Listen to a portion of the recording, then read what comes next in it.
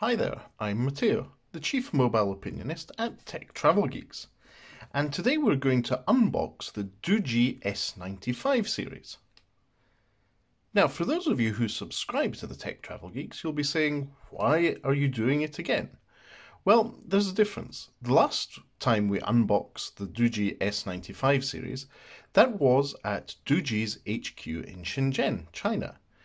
This time we're doing a dedicated video just for the S95 series, as this is the review device that Lukasz will be reviewing in the coming weeks and months. But for now, I'm going to be doing the unboxing and preparing the device for when he gets back from his current travels.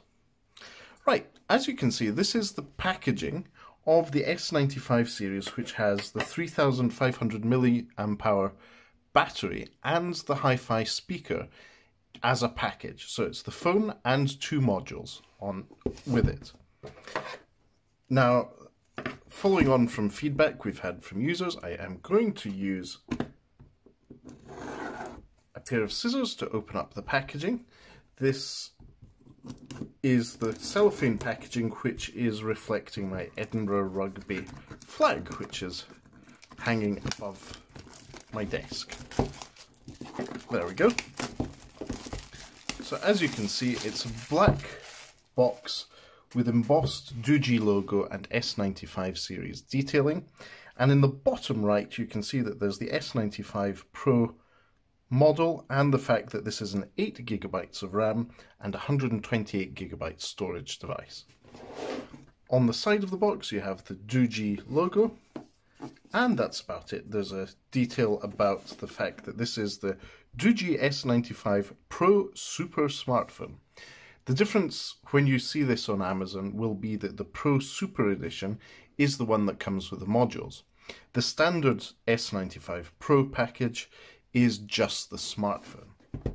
But let's start off opening up the packaging and seeing what's in. So the first box opens and it's a bit like a Russian doll. There is another box on the inside that says S95 series. Now, that doesn't just match up to the one on the outside because this one just says S95 series World Modular Phone Pioneer. And we'll open up that next. But whoops. First things first, let's see what's in the box. So there's a couple of cards here. One for the 3500 milliamp hour power module and one for the speaker module. So there's two modules in this packaging underneath the main phone packaging.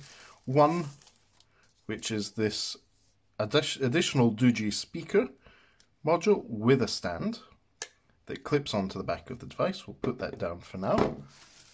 And the other one, which is, in this case, the Doogee power bank module.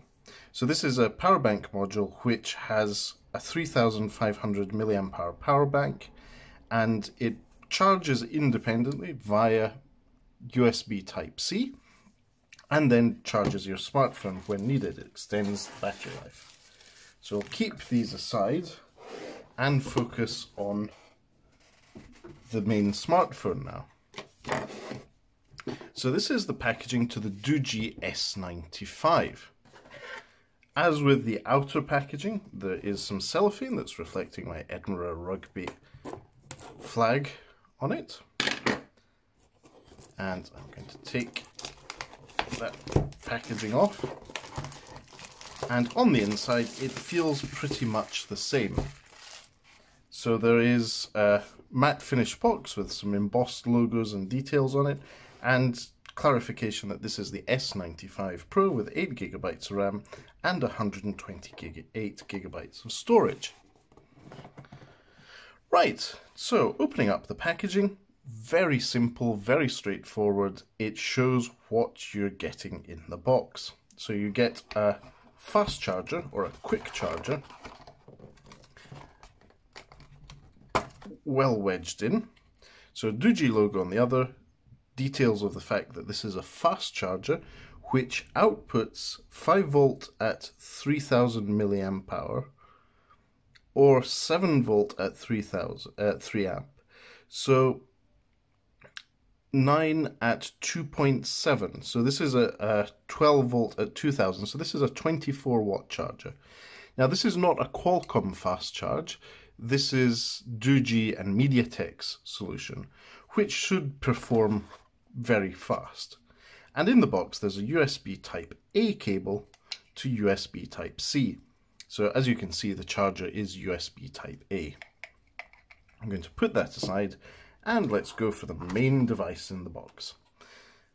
And before we go on to the device itself, let's have a look at what's in the other things in the box.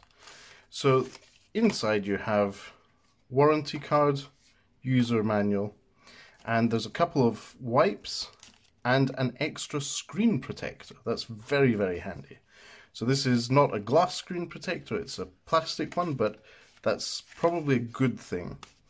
And there is also a SIM ejector tool, as we saw in the Doogee S68 Pro and the S95 Pro.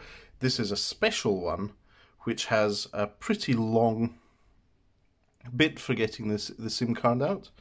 And it also has a very small clip on the side because it's so far, the, the SIM ejector uh, SIM, SIM tray is so well recessed that you need to hook onto the tray to pull it out of the casing. But we'll carry on with that later. So that's the main, all the contents of the box. Let's focus on the smartphone itself. The Doogee S95 Pro. Let's take the sticker with the IMEI numbers off. So this is the Doogee S95 Pro. As you can see, it's a rugged smartphone. It has rugged finish, soft touch with interspersed with some harder ends. It has the pogo pins for the modules. So how do they look when clipped on? Very simple. And you can see this is, has actually started charging the device. I could switch that off. It has a handy button on the bottom of it. But you can use this extra power bank that just clips onto the device very, very simply. And so that's the power bank, and this is what the speakers look like clipped on. So that's it. You can see what these pogo pins are for. They're for the modules and for clipping them to the device.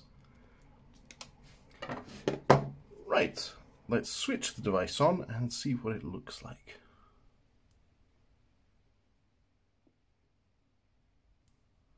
And whilst that's starting up, we're going to take the screen protector protector off. So one screen protector comes pre-installed on the device. Sadly this one has a bubble under it, but that's not much of a problem. Uh, and there is an extra one, as we saw, in the packaging, so you're well covered for the beginning. Let's have a look at what languages are available. available. So English, in this case United Kingdom, not a problem. So connect to a mobile net network. Let's skip that. I'm going to go ahead and set this up uh, on Wi-Fi and I'll be back in a moment. Okay then, so I've just finished setting up the Doogee S95 Pro and it was a very smooth and fast experience. It's almost a Google-like experience as one you'd have on, say, an Android One or a Pixel device. It's very close to stock, apart from the main launcher not having an app drawer. But that's not a big issue. The good news is that it is very fast and responsive. It is quite a responsive thing and the screen is nice and clear. This is a Full HD Plus display, which is LCD. And this, with the screen protector on, uh, is really, really quite fast. I set up the fingerprint uh, scanner, so there's a fingerprint scanner on the sign side, it is ergonomically made for use with a thumb, uh, usually your right thumb. And it's, it's fast. I've used it multiple times, I've checked it in different angles and different conditions, and it is very responsive. Uh, another thing to note about this is this device is that it has a small water drop notch at the top and rounded corners around the screen. On the back, uh, it does feel a bit chunky and metally. That is because it is a, a very tough device. This is an IP68 rated device, which can take quite a beating. Now on the back you'll see that there's uh, cameras. Uh, this is a set of device cameras which have Sony sensors and specifically there's a 48 megapixel main sensor and then there's an 8 uh, a couple of 8 megapixel sensors and LED flash. So this is quite a capable camera. We've already tested it out, but we'll be putting through its, it through its paces properly in the coming weeks. And the interesting other thing is that as well as the power and the volume button, you have a tray for the SIM card on one side of the device. So you have SIM 1 card, so SIM 1 tray on one side, and then you have SIM 2 or Transflash, or that's micro SD, on the other. So there are two separate trays for your devices. And then there's a customizable button on the side as well. So overall, it's quite pleasant to use. It is a bit chunky and a bit heavy.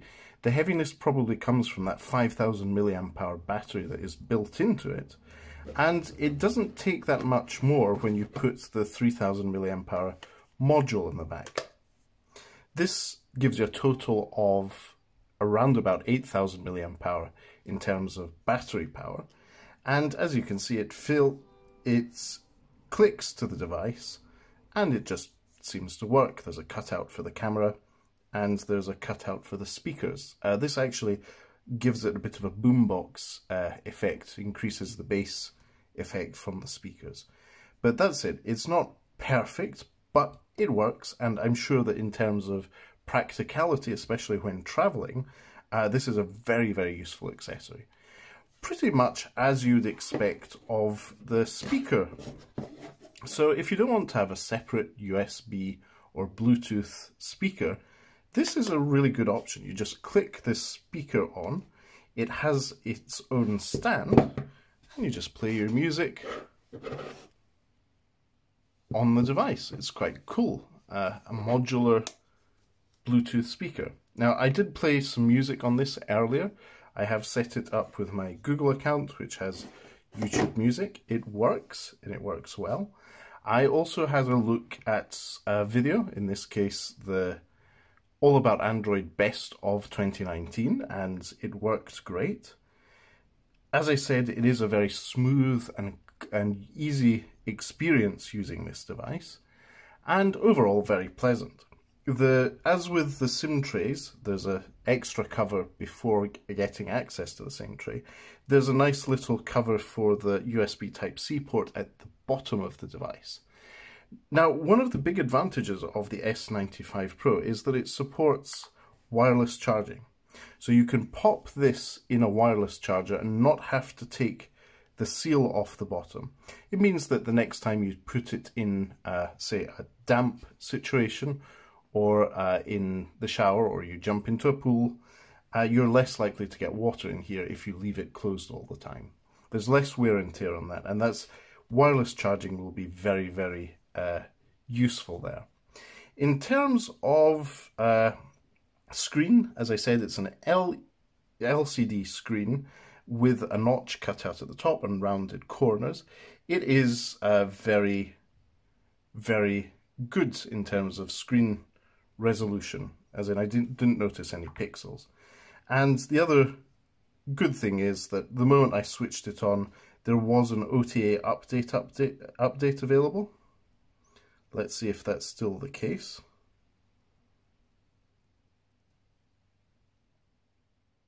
Wireless update. Yes, that's currently downloading. It's a 60 megabyte update, which is dated as the 11th of December. So this product does seem to be re receiving after sales support in terms of OTA updates. And one last thing that I think we should clarify, uh, this does have NFC. I haven't set up Google Pay on it yet, but I will do in the coming days and give you some first impressions of how that works on the device.